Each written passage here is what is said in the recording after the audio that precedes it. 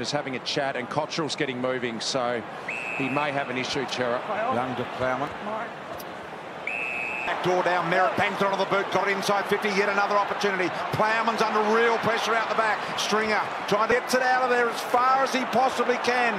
Now it's going to be a three-on-one in favour of the Blues. They win it. Plowman with dashing speed. Delivery inside to Martin. Good signs. Martin. Awareness, even though in the tackle, Hep. Sarden now Plowman. Stand! Stand!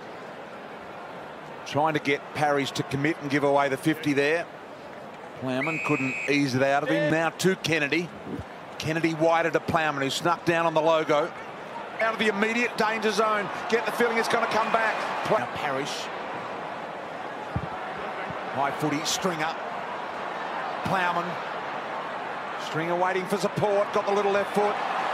The smother was impressive by behind Hobbs, forcing him to slip. Newman now to Plowman. Back to Newman.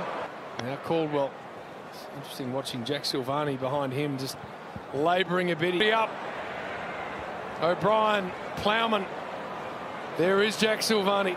Back to Plowman. On very slippery trying conditions. Now Young, who's been impressive tonight for the Blues. Deep in defence, gets it to Plowman.